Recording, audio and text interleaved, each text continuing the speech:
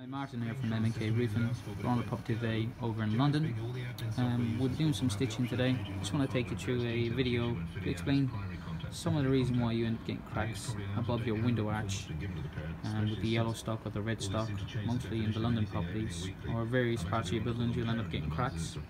Um, you'll be able to see here, got this at the early stage, which is quite good. Um, these walls, these buildings, uh, they don't have any cavity wall ties. Your cavity wall ties is these headers. Um, basically, these tie into the internal wall. Um, with the yellow stock, they seem to absorb a lot of water. So when it's raining, you get a lot of water soaked through these bricks. You've got about that much of a cavity, but it still tend to touch the back facing wall. Um, the front face of the cement most of the time, the mortar, is okay.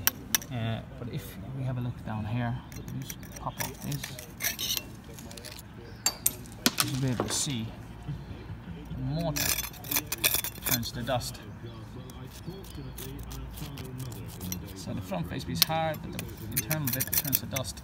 What this ends up doing is the headers start to move a little bit from the wall internally. So then you end up getting cracks in the front of the building.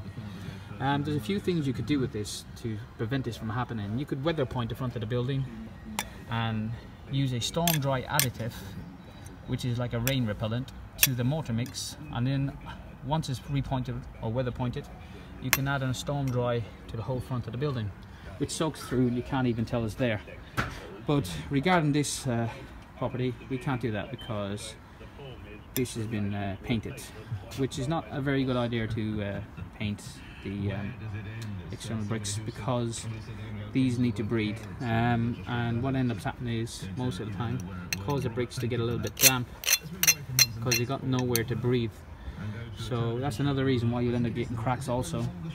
So what we'll be doing is we'll be grinding this out and uh, stitching it back up, followed by repointing it up and then painting it. That should stop the cracks um, from coming back and um, solving the problem. Um, but I'll take you through the uh, stage by stage process of how we get this sorted. We've grinded out all the mortar, ready to install the stainless steel, stitching rods, using the mix. Also grinded out all the cracks. The exit slip road. The A21 was closed earlier southbound at the Sevenoaks turn off. One lane is closed the now. final finish. This video was helpful. Please like and subscribe to our YouTube channel. If you have any questions, just leave a comment below.